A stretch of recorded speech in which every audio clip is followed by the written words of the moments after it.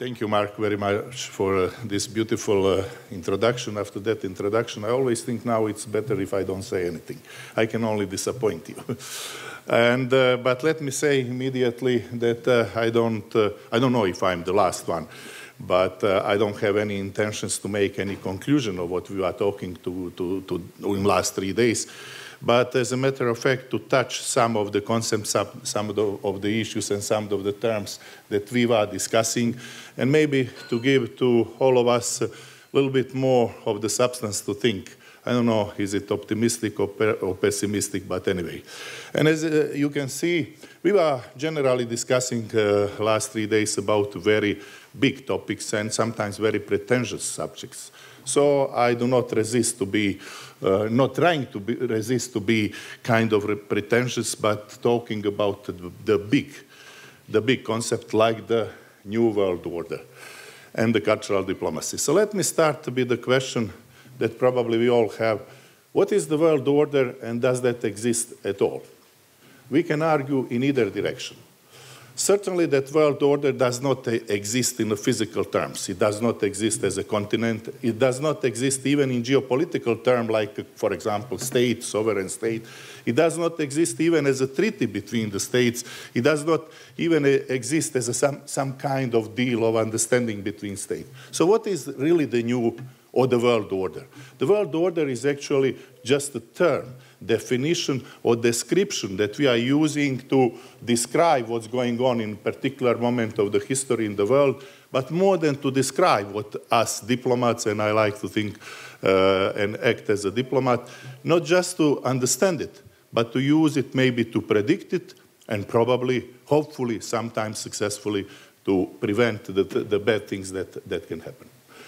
And, uh, you know, the concept itself of the world order was used the first time after the peace in Westphalia in uh, uh, 1648 in Europe. And the term of world order was reflecting for many centuries actually only Europe, which is understandable having in mind our uh, very egocentrical European look, and sometimes, as somebody said before, very arrogant look into, into the things. By the end of 20th century, there was a big debate in the intellectual part of the world among the people who are dealing with the foreign policy. Do we really need a concept like a world order? And particularly a concept which is very much related to the world order, and that is balance of power. And there was a very famous book that I believe uh, all of you are familiar uh, written by Francis Fukuyama. The title of the book is The End of the History, where he was arguing that actually we don't need such a concept because the development of liberal democracy and free market came to the moment when we really do not need to look into anything like a balance of powers. Approximately same time, professor of uh, uh, Mr. Fukuyama from the Harvard University came uh, first with an um, uh, article published in a Foreign Affairs Journal and later uh, with a book. The title of the article, it's very well known now throughout the world. The title of the article was The Clash of Civilization. And it was considered very controversial in that time because we lived in naive uh, picture, I should uh, dare to say, Wilsonian picture of the world described by Fukuyama, that actually we all big divisions are behind us. The book was uh, also controversial, but the title of the book was a little bit different. And the title of the book, uh, which is forgotten typically now, but book is very, very uh, often quoted, it became bestseller after September 11. But the full title of the book is The Clash of Civilization, and re-establishment, re-establishment of the new world order. And that is actually what I rather want to concentrate to the second part, subtitle of the book, rather than the title, because I do believe that we are entering into whatever we call it, re-establishment or establishment of the new world order, but I do hope that that will not end with the clash of civilization. So, when we are talking about world order, for the first time in the history, that really means the globe, the entire world. Why? Because the means of communication are uh, now the way how they were not in the time when they were using the term, even at the beginning, or even in the middle of 20th century, when the term was practically almost always reserved to uh, what was going on in Europe. Right now, we can follow what was happening uh, through the history to, through different ages into at least five important parts of the world that were having their own uh, form of world order and that it is right now somehow getting together and uh, even geographically in, a, in, a, in the same space. So when we look into Europe, what is happening in the European part of the world order? There was a period of big optimism uh, through creation of European Union. There was a, period of big successes, and I do believe and still hope that European Union is the project of success. However, European Union was primarily concentrated to itself and without looking what is actually going into other parts of the world. Uh, one of those mistakes was that uh, European Union was, for example, ignoring uh, what are the broader aspects of uh, accepting or not accepting Turkey in uh, their desire to, to come closer to European Union? As you know very well, in, uh, uh, from 2003 till 2006, Turkey was trying really to do everything to get closer to European Union. Reaction of Brussels or particularly uh, particular part of European Union was mostly negative. It was different, but mostly negative and that pushed development of Turkey into different directions. I can, because I was in a very similar position, in the same time Croatia was a candidate country with Turkey, we were doing our lobbying together. I could hear what our colleagues are thinking from different parts of the world. And, but nobody was thinking what the consequence will be if Turkey is not getting closer to European Union. The consequence was that the president, in that time prime minister, who I really believe wanted to get Turkey into European Union, uh, turned direction and went into direction of his, uh, many will say, Islamic roots. Now President Erdogan is not even talking anymore about uh, need or necessity of uh, Turkey to get into European Union. And Turkey is, uh, I will touch Turkey a little bit uh, later, is extremely important country in this kind of brief description of the new world order that I want to give you as something to think about. Uh, European Union was also naive in not thinking when thinking about developing its part of the world order about Russia. Huge mistake, because when we follow the development of the world orders, then there is a clear path of development in Russia. From, uh, uh, from uh, even the, the, the great, through Katarina the Great, through Stalin to Putin, the, most of the Russian leaders with the short periods when that was not the case in, in case of Gorbachev, who had a generally different idea, or Yeltsin, who I don't know if he had any ideas. Uh, but most of the Russian leaders wanted to have strong Russia. Mother Russia as a strong country was the leading concept throughout the, throughout the history. That's exactly what Putin is doing right now. In political terms, nothing less, nothing more. I very much agree with what uh, Henry Kissinger said that it is wrong to compare uh, Putin with Hitler, but it is proper to compare Putin with the Russian Tsars. So, where is the mistake now? I mean, that is, I believe, the fact. And uh, if you are a diplomat, then you are looking into the facts and how that facts will uh, affect the, the future events. I'm one of those who fight really very, very hardly for my country to get into European Union and to get the to get uh, independence from communism and get democracy. And I'm certainly very much supportive into everything what was going on in Ukraine. And I have big, big sympathy and many friends in Ukraine. But whoever in Brussels was thinking the decision concerning Ukraine will not be seriously considered with the happenings in, uh, in Russia was making big mistake. Whoever thought that Russia or Mr. Putin as the really uh, leader of Russia in this moment, will ignore the fact that uh, uh, uh, once when NATO and European Union enter into Ukraine or the other way around, then then Russian fleet, which was uh, based in Crimea, has to move.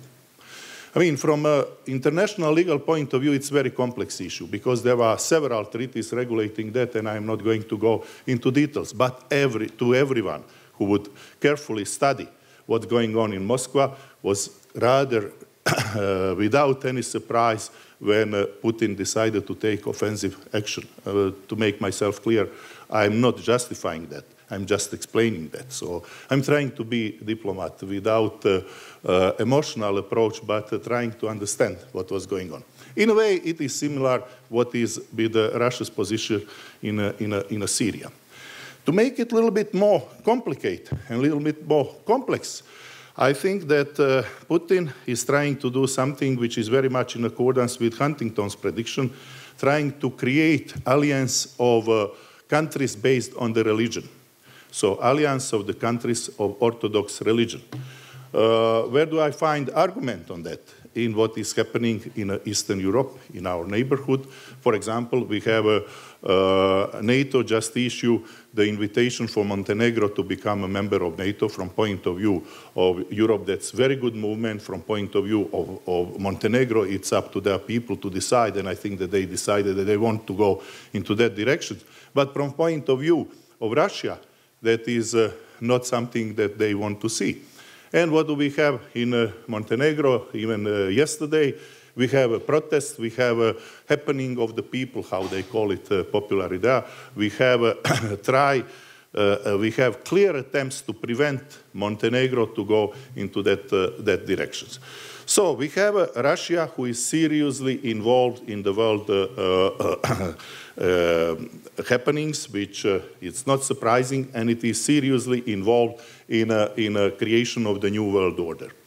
Of course, we have United States, which was dominant power uh, throughout the 20th century, which is still no question and no doubts about that, about that, the strongest military power in the world. But as Kissinger said, I believe very correctly, uh, United States is caught in some kind of ambivalent political or diplomatical paradigmatical way of thinking. In one way is the protection of uh, national interests, which is basically the, the task of uh, every country. But on the other hand, it is that uh, kind of very often abstract idea of spreading democracy and, uh, and freedom throughout the world. That is also sometimes very difficult to uh, describe, uh, but even more difficult to understand from different parts of the world. Good example of that, uh, some kind of bipolar approach to the things is what happened in Egypt. Uh, first, you had the uh, United States got a deal with uh, President Mubarak by which he was supposed to uh, gradually leave by organizing democratic elections and leaving historical scene. But in a matter of literally, in a matter of two days, United States White House changed the position and they insist that immediately Mubarak will leave. Again, I'm not the kind of guy who will have any kind of sympathy toward the people like Mubarak. I'm, again, just uh, trying to be objective in a, in a phenomena.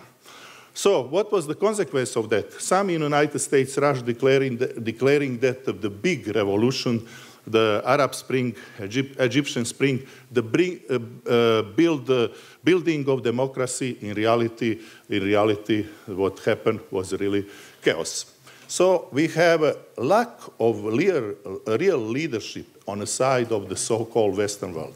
We cannot see that leadership in the United States, and we cannot see that leadership in European Union. We do see that leadership in Russia, but is that kind of direction that we want to see the world to, to, to move? Then we have another extremely important player, and that is China. For a century and century, China had its own uh, world order, which was defined by the fact that they had emperor, that the time was measured different way, that they were actually spreading the uh, culture that they always thought that it is uh, superior to any other culture, and to be uh, historically fair, Russia was not spreading outside of the Asian continent, at least not from, for the last several centuries. However, what do we see today? Today, where is Russia? Uh, sorry, I, I made mistake, not Russia, China. Where is China present? China is present to every part of the world, particularly Africa, but also partly Europe, every part of the world where there, there is a global infrastructural transitional way of traveling from one part of the world to the other part of the world. For the first time, after several centuries, when Russia stopped, uh, sorry, I don't know why I'm making this uh, uh, stupid mistake, China started to build ships, big ships. China started to build uh, airplanes, which was never part of, of, of the idea. Recently, we had the Prime Minister of China in Belgrade.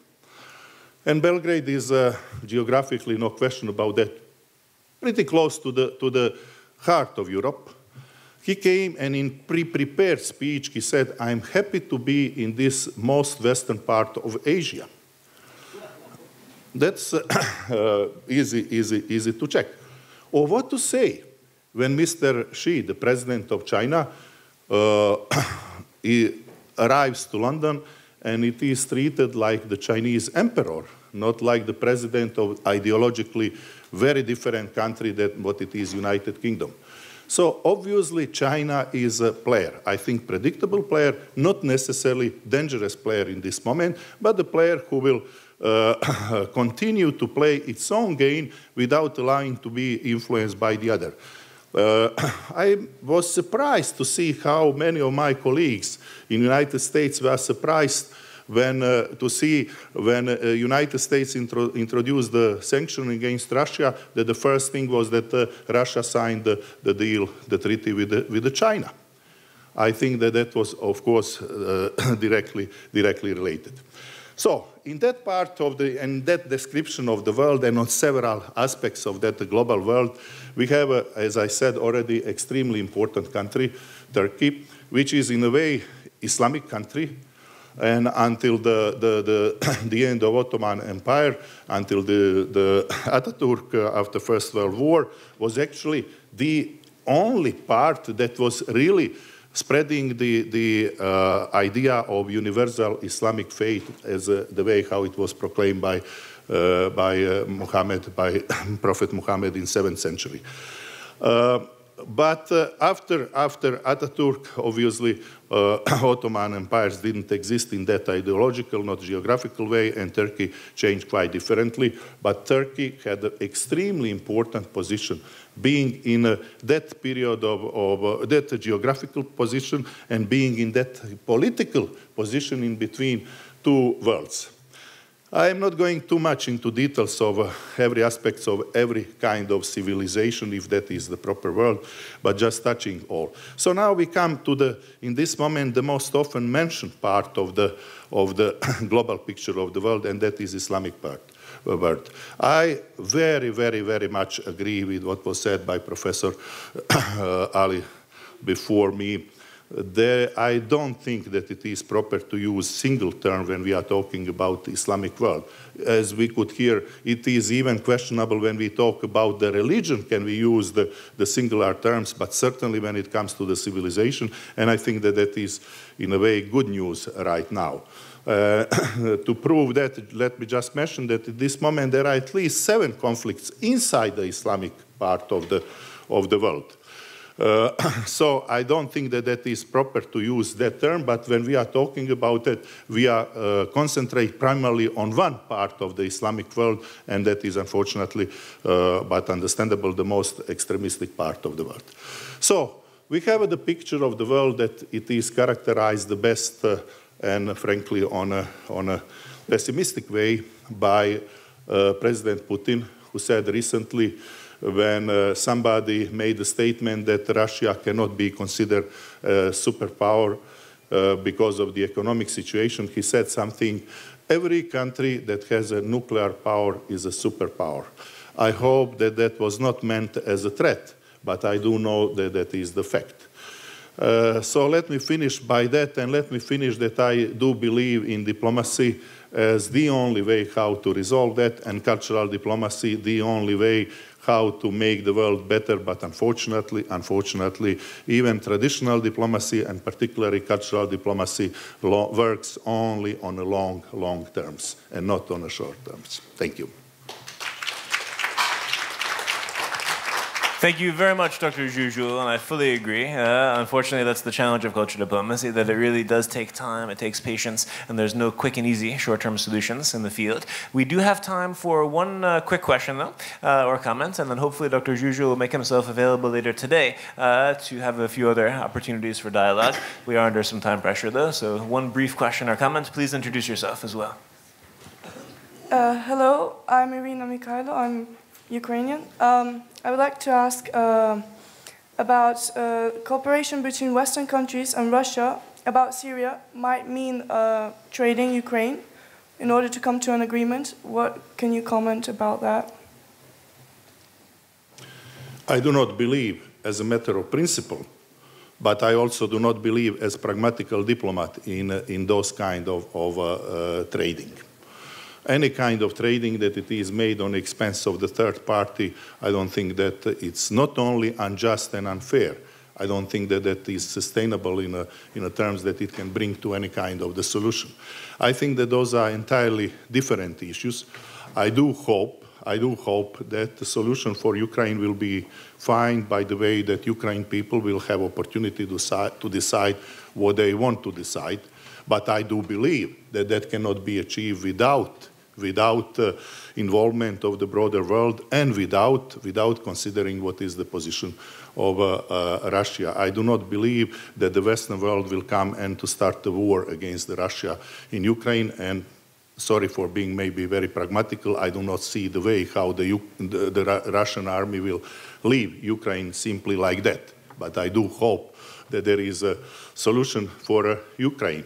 In this moment, I'm a little bit more concerned in what's going on in that uh, arena uh, around Syria, because I think that the picture is much, much more complicated, that we have uh, many more players in the game and several of them that can use the same phrase, if not the threat that was used by President Putin.